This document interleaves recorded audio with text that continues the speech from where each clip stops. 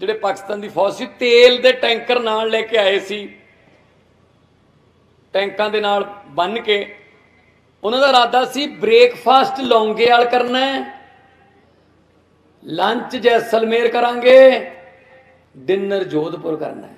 ਕਿ ਉੱਥੇ ਤੱਕ ਅਸੀਂ ਕਬਜ਼ਾ ਕਰ ਲਾਂਗੇ। ਫਿਰ ਅਸੀਂ ਬਾਰਗੇਨਿੰਗ ਕਰਾਂਗੇ ਕਿ ਬੰਗਲਾਦੇਸ਼ ਛੱਡੋ, ਰਾਜਸਥਾਨ ਲੈ ਲਓ। ਆਹ ਇਰਾਦਾ ਸੀ।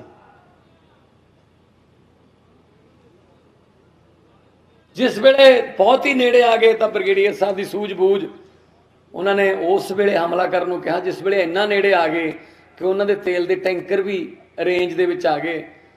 ਜਦੋਂ ਇਧਰੋਂ ਗੋਲੀਬਾਰੀ ਹੋਈ ਤਾਂ ਉਹਨਾਂ ਦੇ ਤੇਲ ਦੇ ਟੈਂਕਰਾਂ 'ਚ ਵੀ ਗੋਲੀਆਂ ਵੱਜੀਆਂ। ਉਹ ਟੈਂਕਰ ਜਿਹੜੇ ਤੇਲ ਦੇ ਸੀ, ਉਹਨਾਂ ਨੇ ਉਹਨਾਂ ਦੇ ਬੰਬ ਜਿਹੜੇ ਟੈਂਕ ਜਿਹੜੇ ਉਡਾਤੇ ਉਹਨਾਂ ਨੂੰ ਪਤਾ ਹੀ ਨਹੀਂ ਲੱਗਿਆ ਕੀ ਹੋ ਗਿਆ। ਕਿ ਉਹਨਾਂ ਨੂੰ ਇਹ ਲੱਗਿਆ ਪਤਾ ਹੀ ਨਹੀਂ ਕਿੰਨੀ ਕੁ ਫੌਜ ਹੈ ਜਿਹੜੀ ਸਾਡੇ ਤੇ ਗੋਲੇ ਸਿੱਟੀ ਜਾਂਦੀ ਹੈ।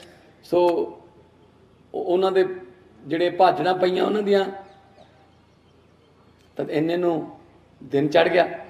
ਇਹਨਾਂ ਨੂੰ 에ਅਰ ਫੋਰਸ ਜਿਹੜੀ ਹੈ, ਉਹ ਆਪਣੇ 에ਅਰਕ੍ਰਾਫਟ ਲੈ ਕੇ ਆ ਗਈ ਤੇ ਚਾਂਦਪੁਰੀ ਸਾਹਿਬ ਨੇ ਉਹ ਕਹਿਰ ਦੀ ਰਾਤ ਜਿਹੜੀ ਭਾਰਤ ਲਈ ਬਹੁਤ ਖਤਰਨਾਕ ਹੋ ਸਕਦੀ ਸੀ, ਹੋ ਸਕਦਾ ਨਕਸ਼ਾ ਹੀ ਕੋਈ ਹੋਰ ਹੁੰਦਾ, ਇਹੋ ਜਿਹੇ ਲੋਕਾਂ ਨੇ ਉਹ ਬਹਾਦਰੀਆਂ ਦਿਖਾ ਕੇ,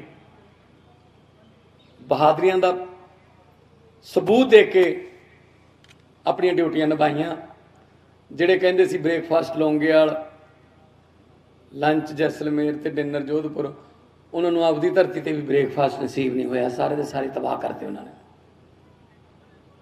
ਸੋ ਇਹ ਇਹ ਚੀਜ਼ਾਂ ਬਹੁਤ ਵੱਡੀਆਂ ਨੇ ਜੀ, ਮਹਾਵੀਰ ਚੱਕਰ ਮਿਲਣਾ, ਔਰ ਫਿਰ ਦੁਬਾਰਾ ਇਸ ਪਿੰਡ ਚੋਂ 100 ਦੇ ਕਰੀਬ ਮੁੰਡੇ ਫੌਜ 'ਚ ਨੇ, ਅਫਸਰ ਨੇ